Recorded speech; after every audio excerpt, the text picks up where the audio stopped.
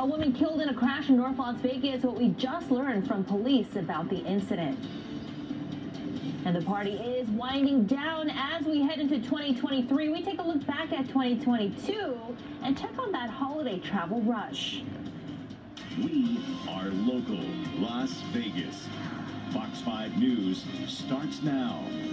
Good evening, and thanks for being here tonight. A live look right now at the Las Vegas Strip. Happy New Year to you.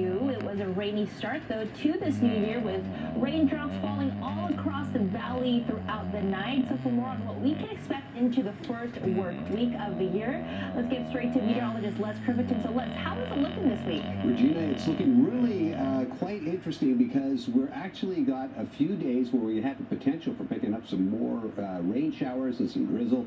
Uh, we had a fair amount last night. Some areas picked up more than a tenth of an inch of rain, others uh, three tenths of an inch of rain, but it was just nice to experience it. And uh, it was a really great start to the year for us, especially because we're, we're so water starved. 47 degrees right now, wind is calm, humidity 54%, the dew point temperature is at 31 degrees, while the wind is reportedly calm over